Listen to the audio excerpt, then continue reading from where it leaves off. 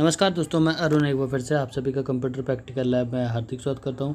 दोस्तों, आज की वीडियो में बात करेंगे मोबाइल नंबर रॉन्ग और right number formula in Excel तो चलिए वीडियो की शुरुआत करते हैं। तो दोस्तों, ये है मेरा एम एस एक्सेल अब मैं यहाँ पर आपको ये ट्रिक दिखाता हूँ। देखिए, इस तरीके से आपको अपने सेल को कुछ इस तरीके से सेलेक्ट करके इसके कॉलम को थोड़ा सा खोल लेना है। यहाँ पे बॉर्डर भी लगा लेना है, क्योंकि इतने एरिया में हम ये काम करने वाले हैं। ठीक है?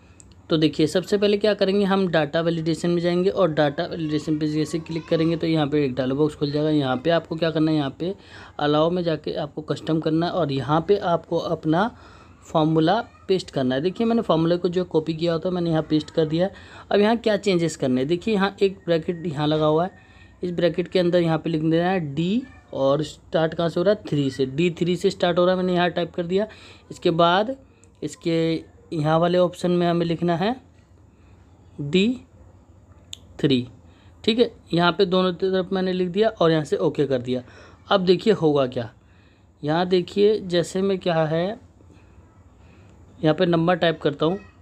अगर मैं एक भी नंबर कम टाइप करूँगा तो देखिए ये तुरंत मैसेज दे देगा कि नंबर गलत है। अब चलिए एक बार दूसरा नंबर टाइप करके देख लेते हैं।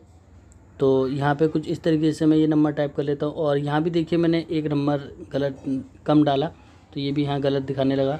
अब चलिए एक पूरा नंबर डाल के देखते हैं। ये मैं अपना पूरा नंबर डालता हूँ एंटर करता हूँ। देखिए, इसने इसको ले लिया। अगर आप एक भी नंबर ज़्यादा डालेंगे या एक भी नंबर दस से कम डालेंगे, दस अंकों का होना चाहिए। अगर उससे कम या ज़्यादा हुआ तो ये नहीं लेगा।